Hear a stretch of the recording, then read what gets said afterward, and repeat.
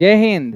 दोस्तों, आज के इस क्लास में मैं जो ईडियम बता रहा हूँ, वो वाइट वर्ड से रिलेटेड है। जैसे white knuckle experience whitewash white as a lily या as white as sheet a white lie इस तरह से बहुत सारे वर्ड ईडियम्स जिसमें वाइट वर्ड का प्रयोग हुआ है। तो शुरुआत करते हैं दोस्तों। मैंने ईडियम को लगभग सौ अलग अलग थीम पे बांटा है, जो आपको इस पे पूरे तरीके से अच्छा कमांड करने पे हेल्प करेगा। जैसे वाइट एज ए सीट तो वाइट एज ए सीट हम कब बोलते हैं? जब कोई आदमी बीमारी के कारण एकदम बिल्कुल मुरझा गया है पेल हो गया है तब हम बोलते हैं कि he is looking extremely pale means he is as white as a sheet डर या बीमार होने के कारण एकदम पीला या कांतिहीन हो जाना। तो हम बोलते हैं he is as white as sheet When he realized he lost the watch, his face turned white as a sheet. After a sudden accident his face become white as a sheet इस तरह से वाक्य में प्रयोग करना है। दूसरा देखिए वाइट एलिफेंट ये कॉमन है कि कोई ऐसा चीज़ जो आपके लिए बर्डनसम हो गया है, जिसको मेंटेन करना बहुत मुश्किल है। कोई ऐसी महँगी वस्तु जिसको रखना अब आपके बस की बात नहीं है। फ़ायदा उतना नहीं है जितना उसको मेंटेन करने में नुकसान हो रहा है। तो उसको हम बोलते हैं वाइट एलिफेंट है। My inherited house is a white elephant by all means This car is providing a white elephant, proving a white elephant for me as it needs much money to manage its condition. तीसरा देखिए white collar workers एक आपने पढ़ा था blue collar workers blue collar workers होता है जो labourer होता है फ़िज़िकल काम करता है कोई कंपनी फैक्ट्री में। और वाइट कॉलर वर्कर्स एकदम बाबू साहब होते हैं जो ऑफ़िस में सिर्फ़ और सिर्फ़ कलम चलाता है मेंटल काम मेंटली काम करता है और इसका फ़िज़िकल काम से कोई लेना देना नहीं है। उसको कहते हैं वाइट कॉलर वर्कर्स और फ़िज़िकल जो मेहनत करता है, उसे कहते हैं blue collar workers my brother is a white collar worker whereas I am a blue collar worker a white collar worker gets a handsome salary सही बात है?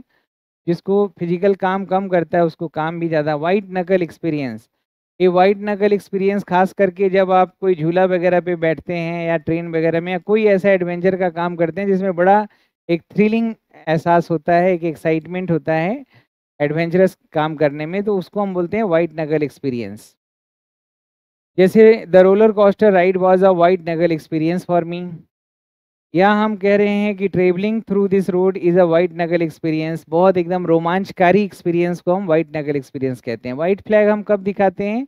जब हम शांति वार्ता चाहते हैं और हम युद्ध नहीं लड़ना चाहते, हम सरेंडर कर देते हैं, हार मान लेते हैं तो हम वाइट फ्लैग दिखाते हैं। After hours of negotiation, they finally raised their white flag. They waved the a white flag to show that they accept the defeat. इसी तरह से white wedding white wedding actually ये क्रिश्चियंस में होता है जहाँ चर्च में वाइट गाउन पहन के ब्राइड आती है और शादी होती है एक परंपरागत शादी जिसमें वाइट गाउन पहना जाता है चर्च में क्रिश्चियन लोग के द्वारा उसको वाइट वेडिंग कहते हैं दोस्तों he likes the white wedding she likes to join this white wedding whitewash whitewash का दो मतलब होता है, एक तो वाइट वॉश कर देना, जैसे खास करके क्रिकेट वगैरह में देखते होंगे कि एकदम इंडिया ने पाकिस्तान को वाइट वॉश कर दिया। बिल्कुल एकदम थॉरोली डिफिट कर दिया हर एक डिपार्टमेंट में। सुपरा साफ़ कर देना जिसको कहते हैं। और वाइट वॉश ऐसे भी नॉर्मली हम कहते हैं, जब हाउस वगैरह को हम उचारा करना, उसको हम वाइट वॉश कहते हैं। Their rival team whitewashed team in five matches resulting in a complete defeat for their team Finally, their team humiliated them by giving them a whitewash in return.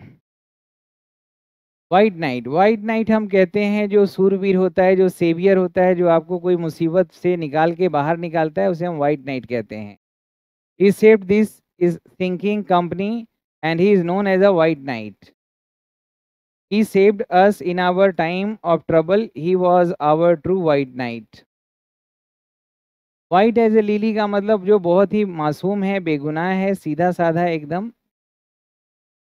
We cannot punish him as he is a lily white you can trust him because he is a lily white तो lily white का मतलब बहुत innocent होता है। To show the white feather ये पता है, कायरता दिखाना। येलो फीलिंग्स जिसमें होता है। तो हम कह सकते हैं he has a purple heart so he cannot show a white feather purple heart बहादुर को कहते हैं और वाइट फेदर कहते हैं कायरता को। वह पीछे नहीं हट सकता है, ना ही वह कायरता दिखा सकता है वो वाइट फेदर सो नहीं कर सकता he can not back down मतलब हार नहीं मानेगा और वाइट फेदर नहीं दिखाएगा और वाइट लाई मतलब ऐसा झूठा बोलते हैं जो बहुत भारी नुकसान से आपको बचाए और मतलब एक हल्का-फुल्का मतलब जिससे बहुत ज़्यादा नुकसान किसी को नहीं हो। स्मॉल हार्मलेस लाई को व्हाइट लाई कहते हैं। He always tells a white lie, so nobody trusts him. Why are you telling a white lie for a little benefit? अब व्हाइट एज ए सीट का मतलब क्या हुआ? एक्सट्रीमली पेल यानी कि बीमारी और डर की वजह से एकदम चेहरा का टीका पड़ जाना। व्हाइट एज ए सीट दूसरा है वाइट कॉलर वर्कर्स यानी कि जो मेंटल काम करता है ऑफ़िस में सैलरी अच्छा मिलता है। और ब्लू कॉलर जो फ़िज़िकल काम करता है वाइट नकल एक्सपीरियंस वो एक्सपीरियंस जो रोमांचकारी अनुभव होता है। पी हो जाएगा an extremely tense and nervous experience white flag extreme इसमें the symbol of surrender of the end of the conflict white wedding एक ट्रेडिशनल है white wedding is a wedding where the bride wears white gown and the ceremony takes place in a church whitewash करना मतलब अथॉरो defeat बिल्कुल पूरी तरीके से हराना। White night का मतलब सूरवीर होता है। असेवियर और प्रोटेक्टर हो जाएगा। ठीक है ना? जितने भी ईडियम है, सब वाइट पे हैं। वाइट एज ए लीली इसका मतलब क्या हुआ? जो बहुत ही इनोसेंट व्यक्ति है वाइट एज ए लीली हो गया। इनोसेंट व्यक्ति है। To show the white feather यानी कायरता दिखाना येलो फीलिंग दिखाना yellow bellied a white lie का मतलब हार्मलेस लाई होता है स्मॉल हार्मलेस लाई और ये सारे जो ईडियम्स हैं मतलब ईडियम को मैंने सौ पार्ट में बांटा है और सौ पार्ट में बांटने का मतलब ये है कि हर एक पार्ट एक स्पेसिफिक थीम को शेयर करता है। और ये सारे ईडियम्स आपको वोकेबलरी बिल्डिंग कोर्स में कराए जाएँगे और इसी प्रकार से सारे अलग अलग पार्ट में करके फ्रेजल वर्ब भी कराए जाएँगे confusing word synonym antonym one word solution ये वोकेबलरी कोर्स ज्वाइन करेंगे दोस्तों, एक साल टाइम वैलिडिटी है। और इसी प्रकार ये जो ट्रांसलेशन कोर्स है तो ट्रांसलेशन कोर्स में आपको टेंस से के ऊपर खाली 1500 सेंटेंसेज हिंदी इंग्लिश सेंटेंसेज कराए गए हैं। अब मोडाल्स पे उसी तरह से होगा, उसी तरह से क्लेफ्ट पे होगा, उसी तरह से मॉडिफायर पे होगा एडवर्बियल पे होगा कंजंक्शन पे होगा वॉइस पे होगा नारेशन पे होगा कंडीशनल पे होगा मोड पे होगा। तो ये जो ट्रांसलेशन क्लास और जो वोकेबलरी कोर्स है, आपका स्पोकन इंग्लिश का एक बेस है। और किसी भी तरह की जानकारी के लिए nine five nine nine six one four nine one जो नंबर दिया है, उस पर कॉन्टैक्ट करेंगे।